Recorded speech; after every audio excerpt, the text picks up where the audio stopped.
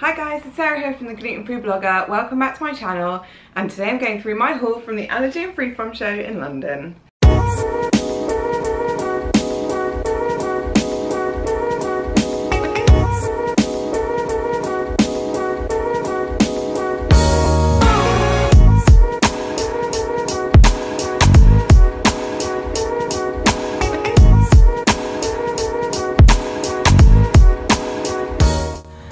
Finally got to go to the show at London Olympia and it was amazing. Like there were just so many gluten-free producers and of course all the big brands were there like, you know, Tesco, Asda, Juvela, Genius, all of those. But there were also loads of like small producers and those were the ones that I was really excited about. So I had to cart quite a lot of stuff through London but I will go through everything I got so this is my haul from the show.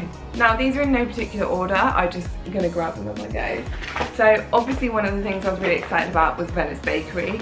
Um, they do gluten-free, wheat-free, egg-free, nut-free, milk-free, soy-free, corn-free pizza bases and flatbreads. So they had a deal on at the show and I picked up the flatbreads. I also got some small pizza bases and the large ones because these are like such a good size all other pizza bases are so small and these are huge. So I was really excited to get these and I'm going to be making a lot of pizza, which will not surprise most people. Another stand I was quite excited to see was Umi. Now these are a new protein noodle. They're actually made from fish, which sounds really weird, but they assured me they don't actually taste like fish. Um, and you can have them hot or cold. They're really low carb. They gave me a pack to try and some chopsticks, which I'm not going to be very good with those. Um, so I'm going to give these a go and I'll let you know what I think. Now one thing you'll find loads of at the show is snack bar. Ooh, snack bar. So obviously I got loads from Perkier. Perkier bars are amazing. They are some of my favourites. They're so good so I'm really excited to have some of these. I also got some of the new Naked Cocoa Coconut bars. Oh, that's a mouthful. Um, which are really nice. So I was glad to get some of those. And then a few I've never heard of before, so I've got this from Good. I'm cool, minty and good apparently. So that's like another healthy fruit nut bar. And I also got these from Kate Percy's Go Bites date and coconut energy balls, which I might actually eat some of in a minute because they sound quite nice. These would probably go straight into my office drawer and probably won't last very long. And while we're on the subject of sweet things, I picked up some of these superfood truffles from Functional Foods. Now these are really nice. Like they had these truffles and they were beautiful with like flowers and all made with superfoods. I think a really interesting take on superfoods, trying to make them kind of into almost like confectionery, but like upmarket confectionery. And I also got these from Super Treats, which are like a caffeine-free chocolate bar. Um, now they're made with carob and the lady there was so nice. I told her that my boyfriend Steve loves carob and she gave me some extra for him so thank you very much. Um, I picked these up at the blogger meetup and I'm intrigued to try them so we'll give those a go today probably as well. Now one brand that did really impress me was Grassroots Bakery. Um, I picked up some of their bread mixes. Their breads were amazing. So these are organic mixes and you literally just add like liquid egg and oil and that's it. So I think even I can make these. Um, they looked really tasty and they just tasted like real bread. Like I think, and the lady was lovely explaining that this is because um, they are not made with rice flour so they don't get that sort of like grainy consistency. But I'm really intrigued to try these. I think they're going to be good fun so I will let you know how I go on with them. So we might as well just stick with the bread while we're here now.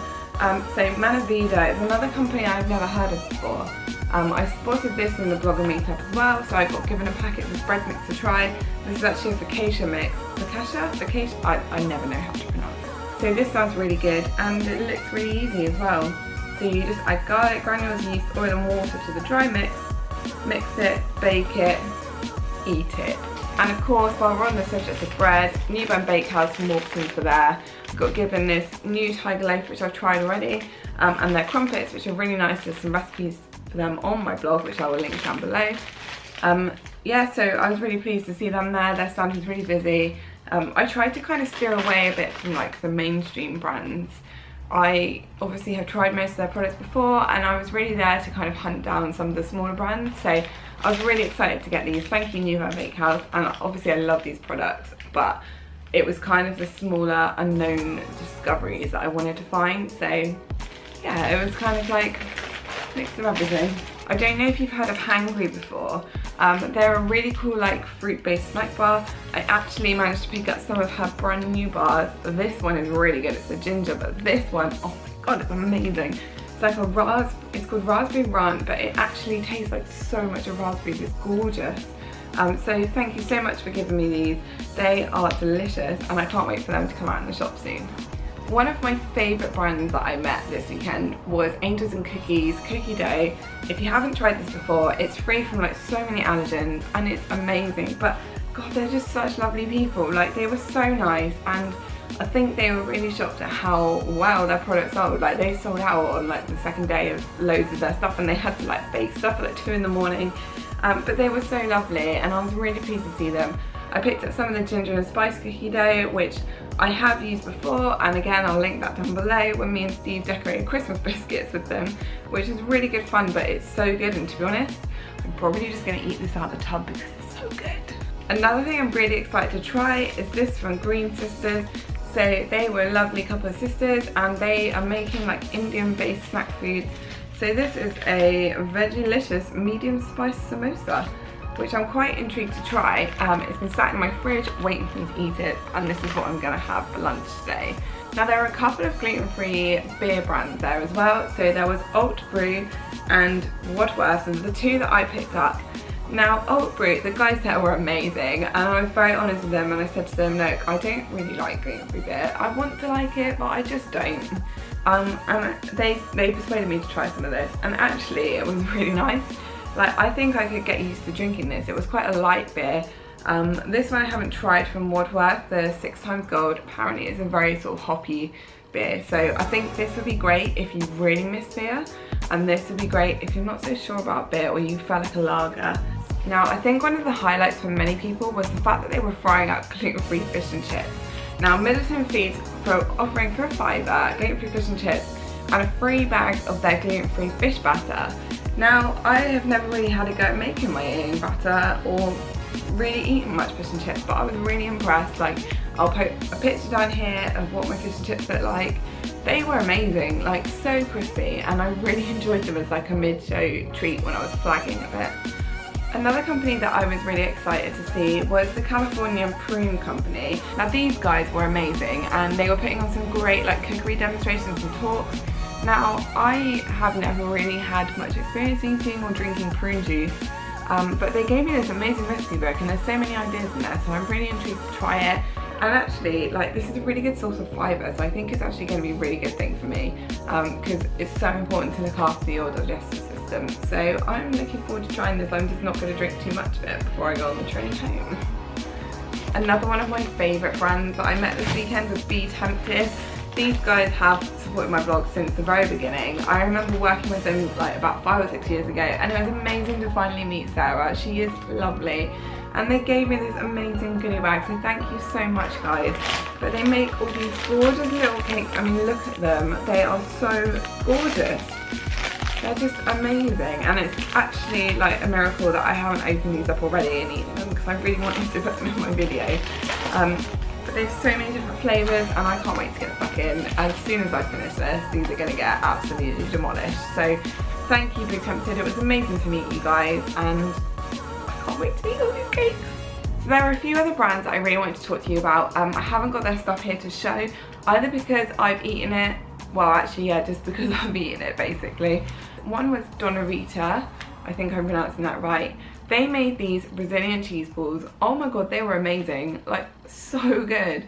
Um, they're this lovely family and they had a little stand and they were really popular. I saw a lot of people talking about them. Another really nice lady I met was Jenna Forced to be Fussy. She makes these like cake mixes um, which look gorgeous and you can just like basically mix it up with the wet stuff, bung it in the oven and you've got these amazing cakes. Another person that I really was excited about was Freak of Nature. Got this awesome t-shirt, even though it's a little bit, it's a, it's a, bit big, but it's fine. I'll wear it around the house. Um, now they, I've never had them before. They do these amazing puddings, which I'll show you some pictures of down here. Um, again, I did actually eat those with Joe last night, so don't actually have any to put in my video, but they were so good. Like, I couldn't believe that they were gluten-free, dairy-free, egg-free, vegan, like they were just amazing. I got to meet up with loads of amazing bloggers that I haven't like met before in person, but I feel like they're my friends. I've spoken to them for so many years.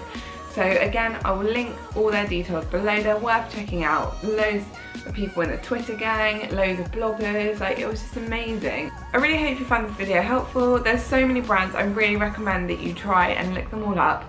They're so good. I'm going to post a link to my blog post below which will have links to all of these. So it's definitely worth checking out. Um, I really hope that you enjoyed this video. If you did, please give it a thumbs up. Please subscribe to my channel and I will see you again soon.